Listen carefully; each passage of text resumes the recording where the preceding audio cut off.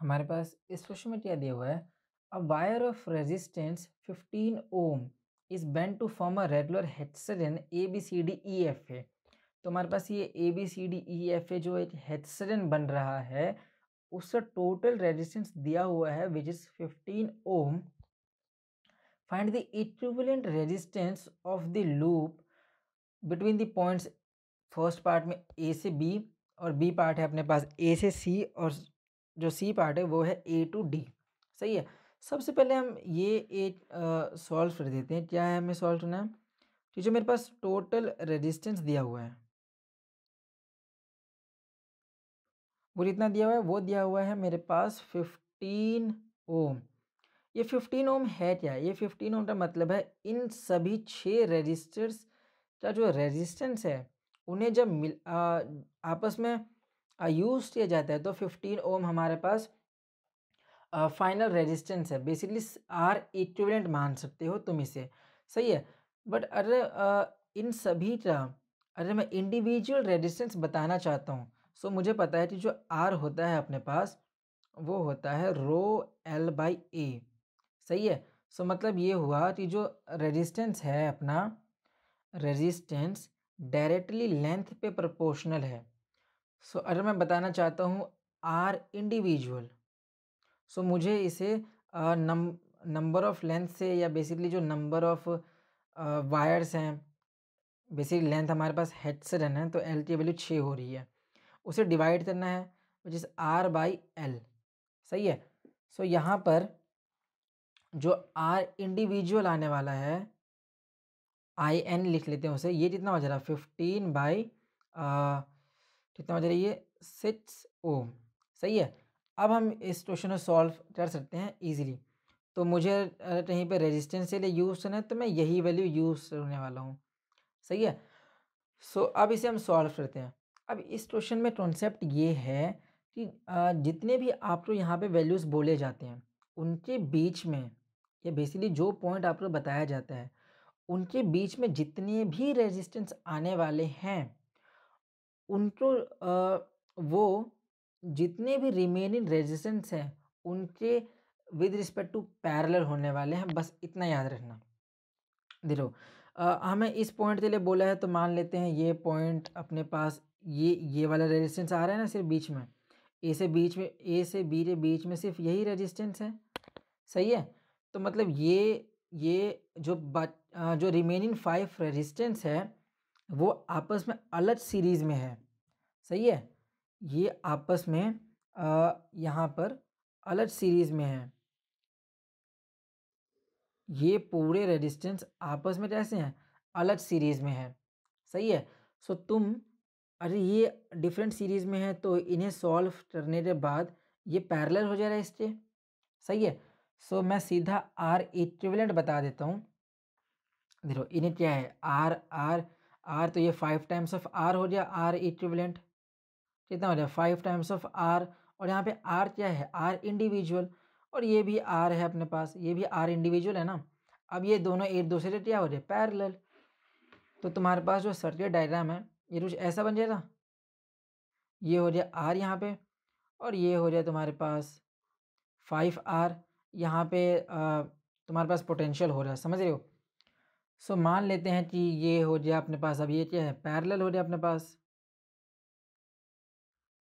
सो so, जो R equivalent आता है फॉर पैरेलल कनेक्शन ये क्या होता है? R one into R two divided by R one plus R two. सही है? ये जितना हो जा रहा? Five R into R divided by six R. So यहाँ पे ये कैंसिल हो गया। कितना बचा ये ये हो जाए फाइव बाई सिक्स और आर क्या है? R individual so fifteen by six सही है? अब इसे सॉल्व कर देते हैं सो ये हो जाएगा मेरे पास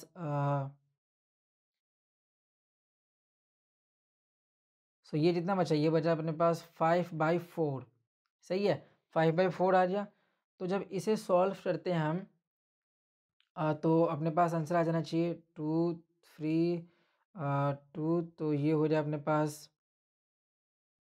फाइव बाई फोर आया यहाँ से तो इसे जब सॉल्व करते हैं तो अपने पास इतना आंसर आ जा रहा ये हो जाना चाहिए यहाँ से।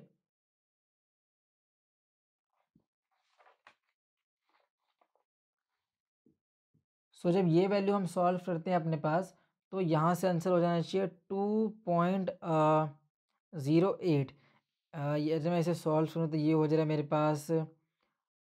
टू ये हो जाए अपने पास फाइव। सही है? फाइव ये हो जाएगा अपने पास ट्वेंटी फाइव और ये हो जाए अपने पास ट्वेल्व। थोड़ी सी कैलकुलेशन एरर हो रही थी यहाँ पे। सो ये हो जाएगा two point zero eight ohm. सही है? सो so, अपने पास फ़र्स्ट पार्ट में तो इतना रेजिस्टेंस आ गया है। इसी तरीके से बी पार्ट की तरफ़ चलते हैं। सो so, अभी इस बी पार्ट में अपने पास क्या है? ए से सी इसका मतलब ये हुआ कि ए से लेके सी तक के जो रेजिस्टेंस है, उन्हें आपस में टाई अप कर लो। और जो अदर रेजिस्टेंस है यहाँ से लेके यहाँ तक, इन्हें आपस में टाई अप कर दो।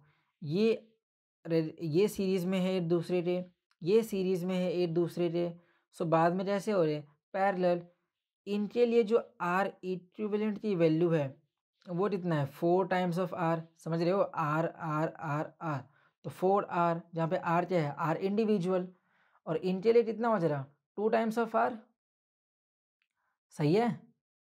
समझ है ना ये सीरीज़ में तो सिंपली इन्हें ऐड कर दिया गया है। सीरीज़ में क्या हो जाते हैं? R one plus R two R series का फॉर्मूला होना तो। सही है?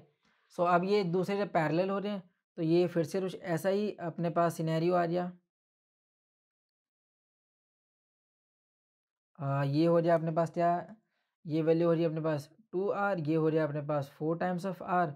So ये पैरेलल हो जाए अब। सो आर इक्विवेलेंट पैरेलल में क्या होता है अपने पास? R one into R two मतलब two R into four R divided by इन दोनों एडिशन। सही है?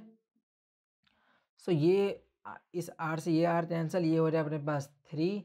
जो आर इक्विवेलेंट है, ये हो जाए अपने पास four by three. Times R और आर क्या है? R individual which is fifteen by six सही है? ये जितने भी आंसर हो जाए, ये हो जाए अपने पास फाइव पे, ये हो जाए टू ये हो जाए थ्री तो ये हो जाए अपने पास टेन बाई थ्री ये जितना हो जाएगा आर इक्विवेलेंट की वैल्यू हो जाएगी three point three three three three four ओ. सही है?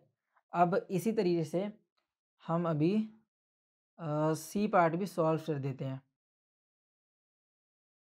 सो अब इस पार्ट में भी हमें क्या करना है? इस पार्ट में हमें बताना है वैल्यू ए टू सी, सही है? Sorry, A two D, so यहाँ से लेते यहाँ तक। सो क्या करना है तो मेरे कुछ भी नहीं यहाँ से लेते इस रेजिस्टेंस तक। इन्हें आपस में टाई अप कर दो और जितना ये रिमेनिंग है, इन्हें आपस में टाई अप कर दो। सही है? अब तुम्हें पता है, इसके लिए आर इक्विवेलेंट क्या हो है अपने पास? Three times of are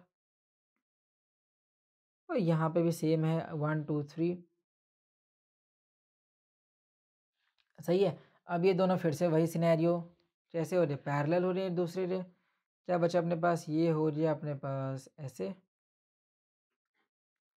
three are, ये भी हो रहा है थ्री आर। अब ये पैरेलल में है तो आर इक्विवेलेंट क्या हो रहा है अपने पास?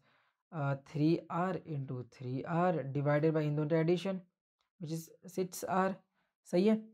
अब इसे सॉल्व कर देते हैं हम तो ये हो जाएगा अपने पास टू, ये हो जाएगा अपने पास three by two into R क्या है? Fifteen by six. ये हो जाएगा अपने पास टू। ये हो जाएगा fifteen by four ohm R equivalent. So R equivalent की वैल्यू हो रही मेरे पास यहाँ से three point seven five ohm. सही है? तो इसी तरीके से हमने इस क्वेश्चन के तीनों ही पार्ट सॉल्व कर दिए हैं।